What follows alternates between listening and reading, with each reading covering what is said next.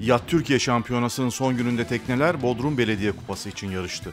İlk iki gün şamandıra yarışı yapan tekneler bu kez coğrafik yarış yaptılar. Sabah briefingde yarışın rotası belirlendi.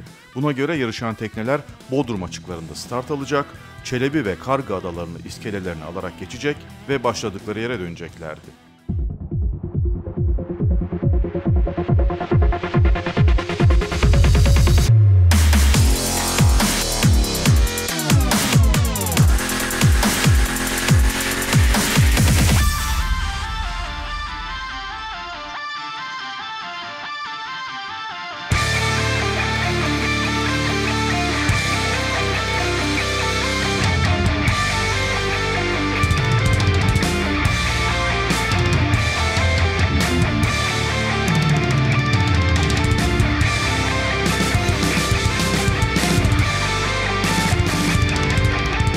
Son gün öncesinde dereceye girebilecek iddialı teknelerin ekipleri heyecanlıydı.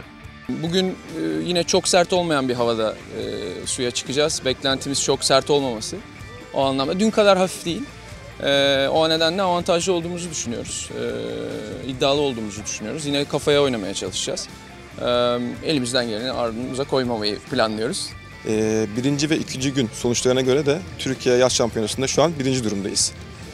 Ee, bugün de yine hafif orta şiddetli bir rüzgar bekleniyor. Ee, yine elimizden gelenin en iyisini yaparak e, şu anki durumumuzu korumaya çalışacağız.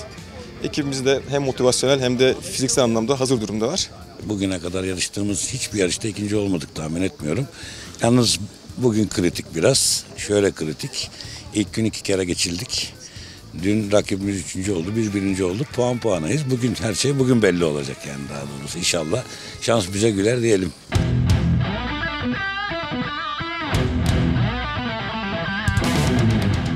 Yarış belirlenen saatte başladı, rüzgar elverişliydi.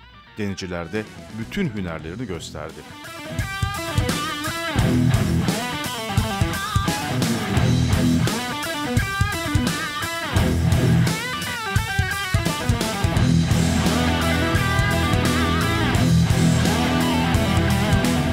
Karga Adası'ndan dönüşte balon yelkenler açıldı. Yelkenlerin açılmasında yine sıkıntılar yaşandı.